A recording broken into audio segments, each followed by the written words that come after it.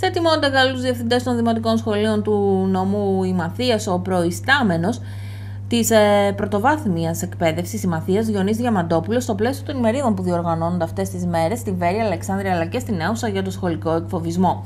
Το κομμάτι της ενημέρωσης δεν ξεκινάει τώρα στην Μαθία. Αντιθέτως, από το περιστατικό για την υπόθεση Άλεξ, στα σχολεία με τη βοήθεια ψυχολόγων ξεκίνησαν κύκλους ενημέρωσης για το bullying, θυμίζοντας την προτριετία μεγάλη μερίδα που ανακοινώθηκε η συγκρότηση ενός δικτύου συνεργαζόμενων φορέων για την αντιμετώπιση του φαινομένου.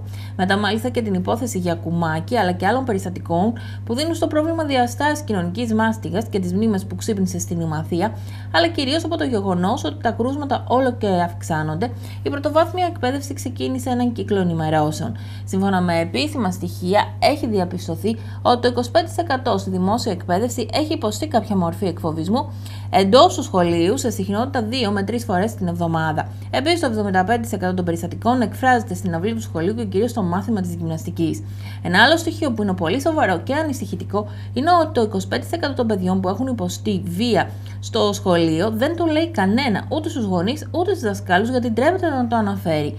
Μάλιστα, σύμφωνα με τα στοιχεία, το 60% που ασκούσαν βία στα σχολεία ως μαθητές μέχρι τα 25 τους χρόνια είχαν τουλάχιστον μία ποινική καταδίκη.